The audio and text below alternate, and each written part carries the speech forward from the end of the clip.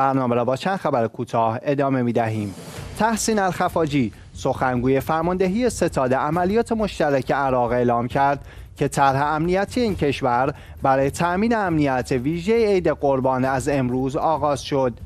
وی درباره ابعاد این طرح گفت که این طرح شامل تشدید تلاش های اطلاعاتی است. او به حمله هوای دیروز در کرکوک که منجر به هلاکت شماری از تروریست ها شد اشاره کرد و آن را جزء عملیات پیش دستانه برای تأمین امنیت مناسبت ها دانست. اداره کل گذرنامه عربستان اعلام کرد تعداد حجاجی که از ورودی های بین المللی وارد عربستان شدند تا روز گذشته نزدیک به یک میلیون و پانصد هزار حاجی بود وزارت حج عربستان پیش بینی کرد که تعداد حجاج امسال نزدیک به دو میلیون و سیصد هزار حاجی از بیش از 160 کشور جهان می‌رسد.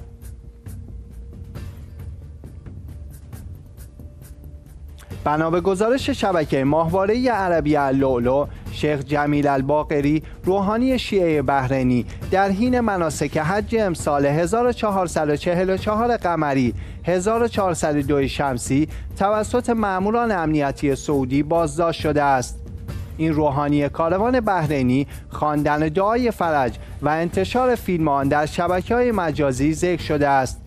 در پی انتشار خبر بازداشت روحانی منبری بحرینی ویدیو خواندن دعای فرج توسط ایشان در شبکه های مجازی بسیار دیده و بازنشر شده است. در این ویدیو روحانی مذکور همراه با کاروان زنان حجاج بحرینی که با شال نارنجی متحد و شکلی در حال انجام سعی صفا و مروه هستند دیده می شود شیخ جمیل الباقری فاقد هر گونه سابقه فعالیت سیاسی است.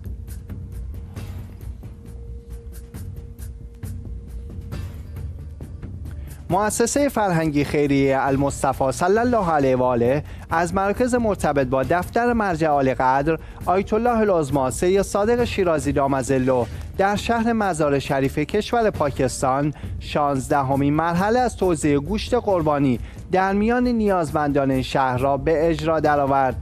طی این اقدام که در روز 27 ذوالقعده 1444 انجام شد دهها قطع مرغ پس از ذبح شرعی در میان خانواده های طلاب و دانشجویان شهر مزار شریف توضیح شد.